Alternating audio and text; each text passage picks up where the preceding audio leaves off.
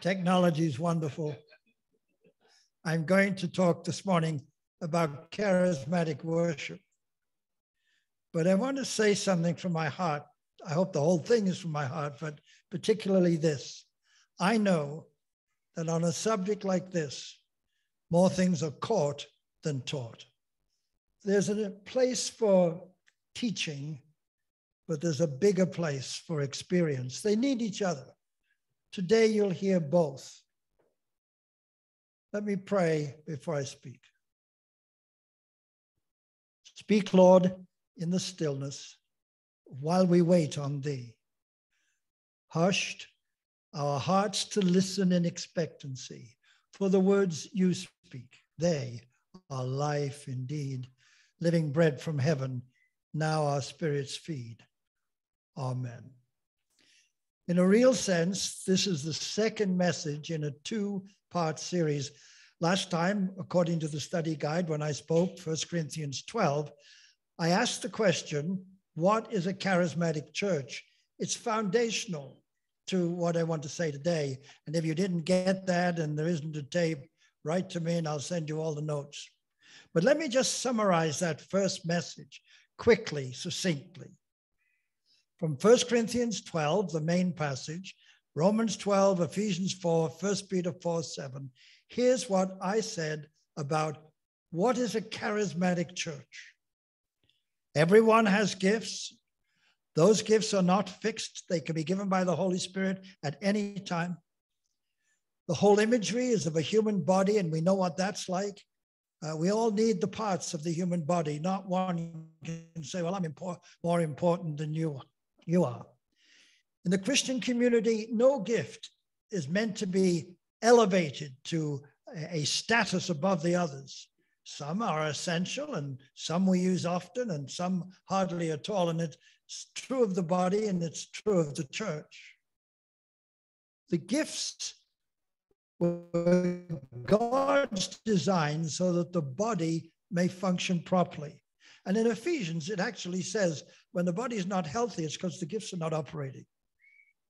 We are to use the gifts we have, and we all have one or more gifts, to serve one another and care for one another. The gifts are not like scout badges or military medals where we can wear them and show off and say, well, I am a this or I am a that.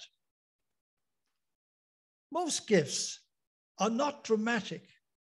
And that's important for me to say as we talked about what is a charismatic church, because there are images of all kinds of wild things that have to go on to be a charismatic church. Most gifts are just ordinary, ordinary outworkings of God in everybody's life every day. In Ephesians, it talks about leadership gifts. So that's a, proper, important gift.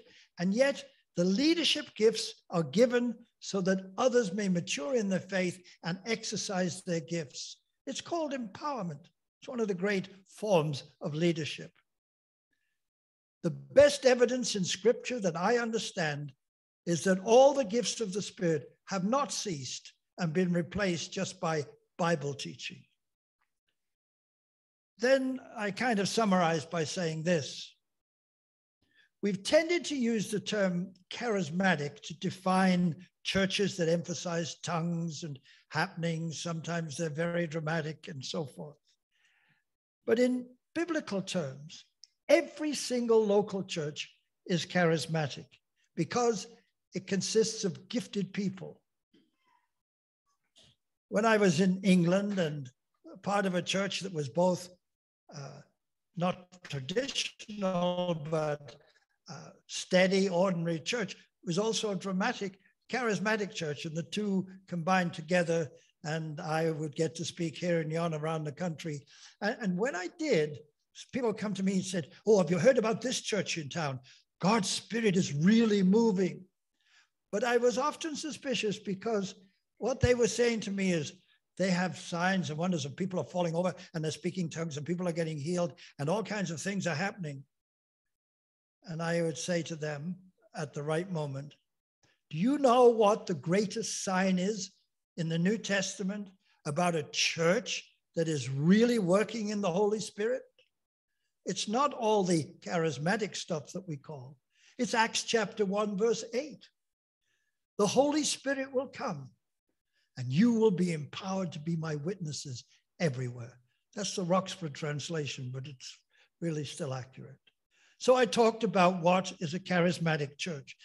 Now we come to the sequence, if you like.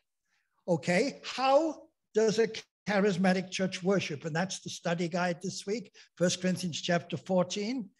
Um, the main point of what I want to say today is that the truly biblical sense of charismatic worship involves the gifts of the Spirit being expressed in various ways uh, uh, by people in participation in worship.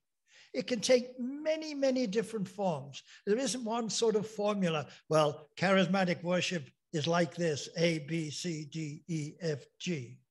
No, it's not that way at all. All forms of worship, whether they're in more traditional churches or so called charismatic churches, they can get in ruts too. And we constantly need to be part of a charismatic church where all our gifts are being expressed, not all at once in one service, but they're being expressed throughout the life of the church because we have this sense the Spirit can lead us spontaneously. Now we come to 1 Corinthians 14, the first 20 some verses, and Paul is concerned because just like when I toured England and people said, oh, Spirit's really working because tongues are happening, Paul was concerned that the Corinthian church was saying, well, we really need to have lots of these kinds of things. And Paul said, uh uh-uh. uh What Bob's just said is right. We're all charismatic and we need to be able to express it in various ways as the Spirit leads. And he says, I have concerns about tongues. So let's talk about tongues. I said some time ago that soon after I was converted, I was given the gift of tongues. But I don't th- think that made me special in any way, shape, or form. And it's not as common now for me as it used to be, but it's there. And occasionally it's a great joy for me to experience it.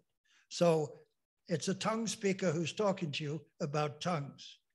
But speaking in tongues is the gift of expressing praise to God spoken in a language that is not known to the one speaking. And it benefits particularly the speaker. That's a very important point as we move on. Paul says prophecy. Prophecy is a message from God, from the gifted person who's giving the prophecy to the congregation. And so there's a division there. It's not a tension, it's a division. Tongues are expressed to God from a very personal level, unless there's an interpreter, and then it takes on a more public level. Prophecy is a message from God that is intended for others, self, others, to God, from God. And Paul makes that difference very clearly. In Acts chapter 2, verses 1 to 4, the day of Pentecost, hear what the Bible says. When the day of Pentecost came, they were all together in one place. Suddenly, a sound like the blowing of a violent wind came from heaven and filled the whole house where they were sitting. They saw what seemed to be tongues of fire that separated and came to rest on each of them. All of them were filled with the Holy Spirit and began to speak in other tongues as the Spirit enabled them. I'll go on. Many people heard them in their own language, but note verse 11, and you don't have your Bibles perhaps in front of you, but in verse 11 of, of that Acts chapter 2, the day of Pentecost, it says this. They were amazed because they're speaking our languages, describing God's mighty work.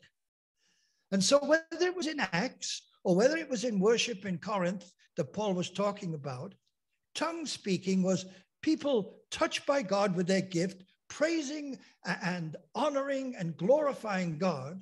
And on the day of Pentecost, they had all kinds of languages because they'd come from all over the place, just like we do at Christmas and, and Easter and so forth, to gather as a family, and they were all gathered and with different tongues and different uh, dialects, but they were hearing this praise to God in their own language.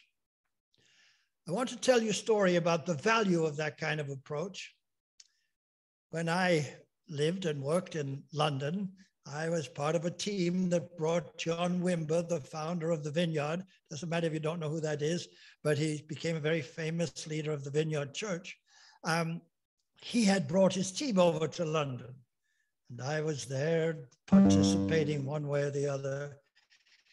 And as, it, as the thing came to an end, some of the team had door and I heard all of a sudden, hallelujah, hallelujah.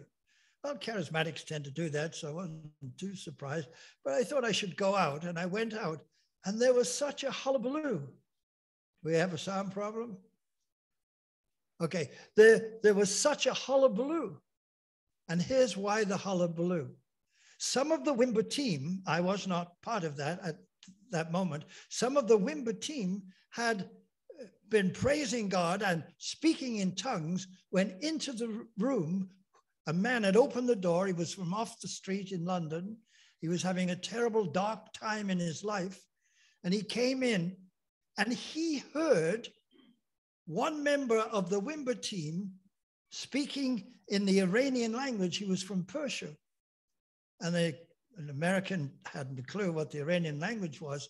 But this was a true Acts chapter 2 uh, sort of story. As a result, the man said, God help me, and the team led him to Christ. Let me move with tongues again into Acts chapter 10, verses 44 to 46. While Peter was still speaking these words, the Holy Spirit came on all who heard the message. The circumcised believers who'd come with Peter were astonished that the gift of the Holy Spirit had been poured onto the Gentiles, for they heard them speaking in tongues and praising God.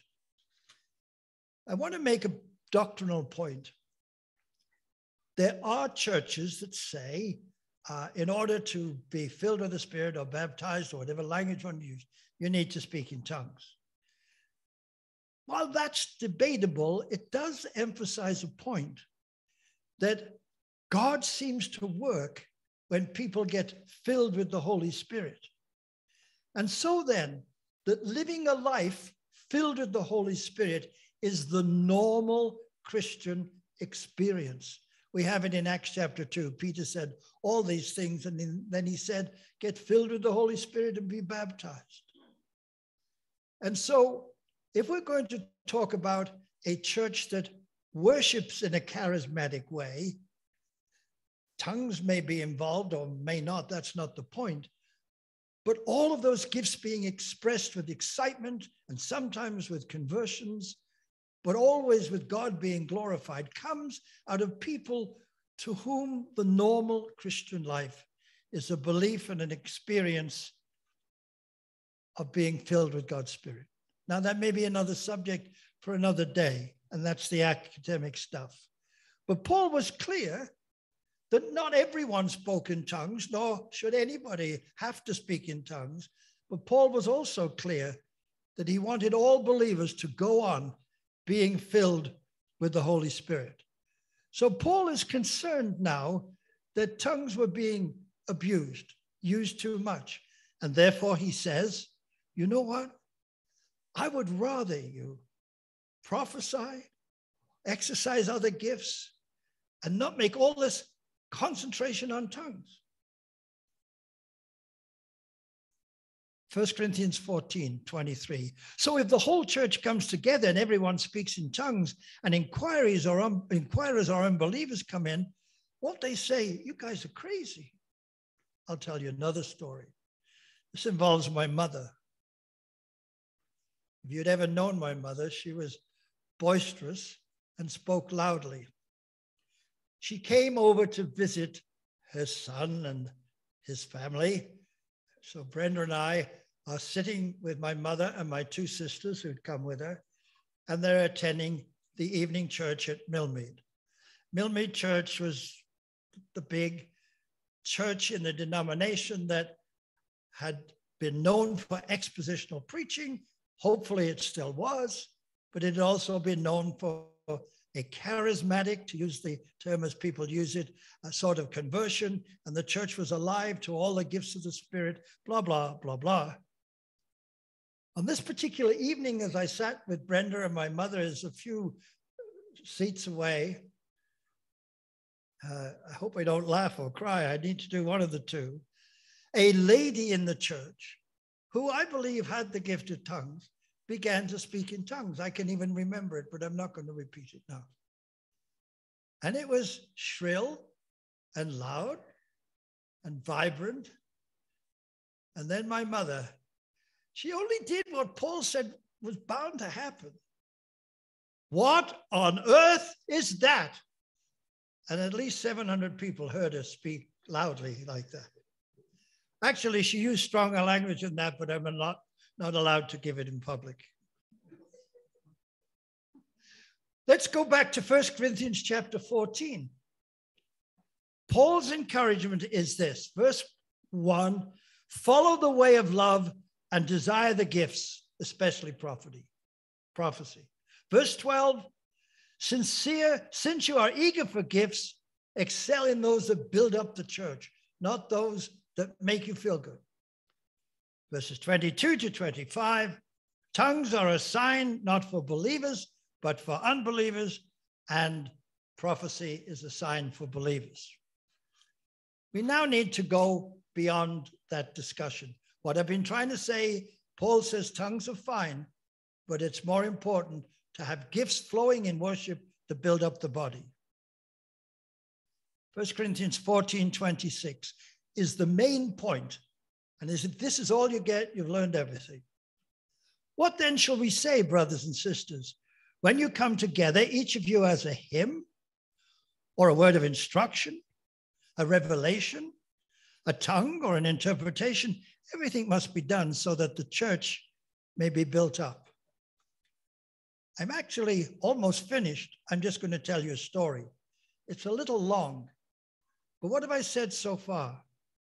A charismatic church is, is one in which people exercise their gifts. So it's this church, the neighborhood church.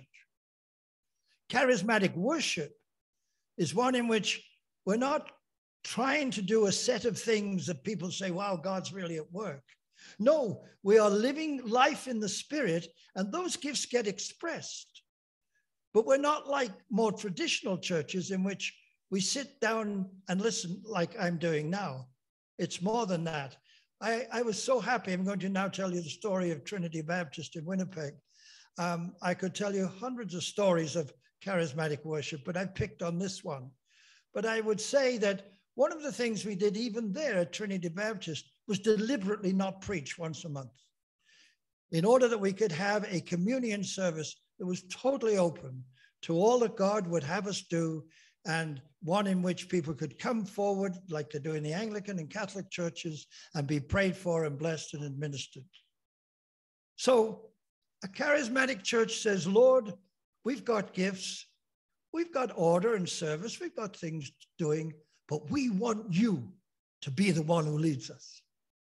I'm going to tell you that story. I gave notes for the um, church in Albania, and I may digress from them but it's still the same true story. Trinity Baptist in Winnipeg, where Brenda and I and the kids all went, had fallen on hard times. It was a beautiful building. In fact, it wasn't far off from closing just because there weren't many people left. Had stained glass windows, beautiful pipe organ. It was a traditional church. I can tell you that. But God's Spirit began to move. I think that's the simplest way I can say it. And more and more, we began to change from the old traditional Baptist form of anything. And we began to see God at work. We didn't throw out the baby with the bathwater, although we did throw out a number of pews, but we kept the organ and we kept the stained glass windows and we kept certain old forms deliberately because the church did not begin in AD uh, 2019 or whenever it was then. It began 2,000 years ago, and those traditions should not just be thrown out. Anyway, we had a dance group. It was a beautiful dance group, and Heather was in it. We had a drama group. I think Heather was in that too, as some other members of the family. We had a music group, and we had a collection of instruments, including a banjo. So you can see that we had moved somewhat. What happened on this day, I want to tell you. I should just put my notes down and, and simply tell you.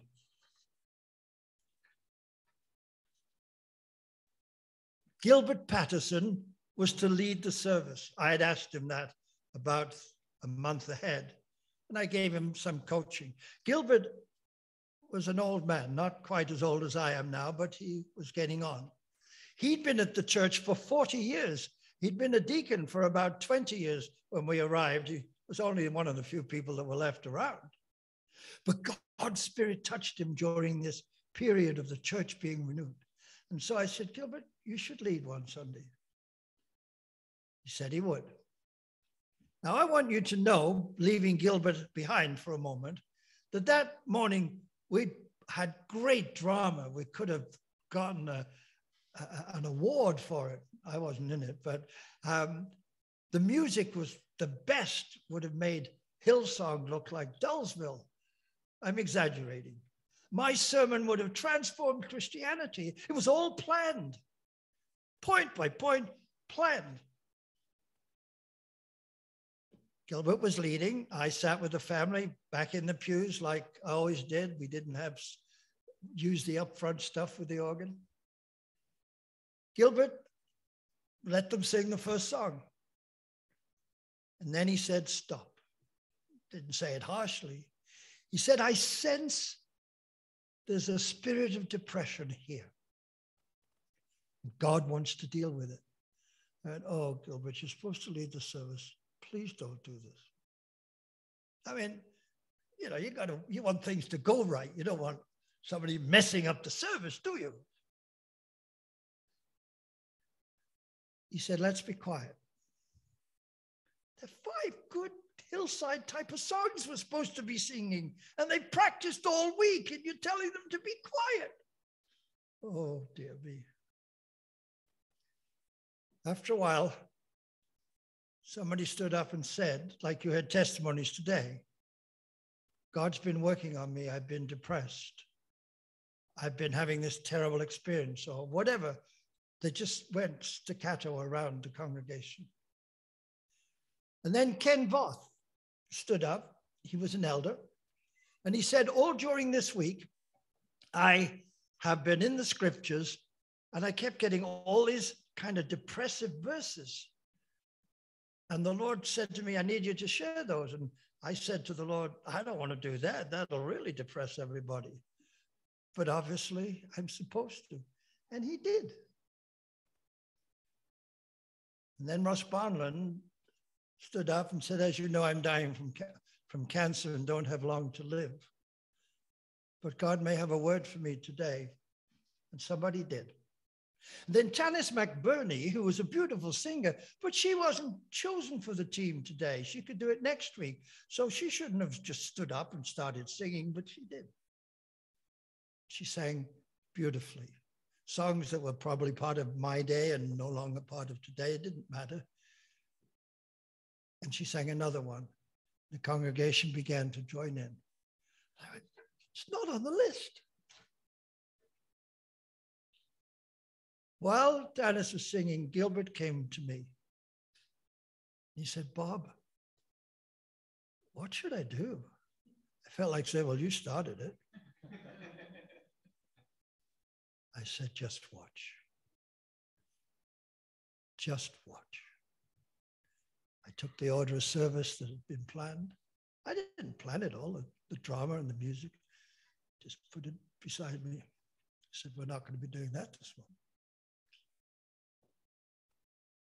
And then, without anybody saying boo, people who'd been trained by myself and others to counsel and to pray for people and to lay hands on them and to ask for healing or whatever, they began to move among the people, some whom were sobbing because of the depression and so on and so on and so forth.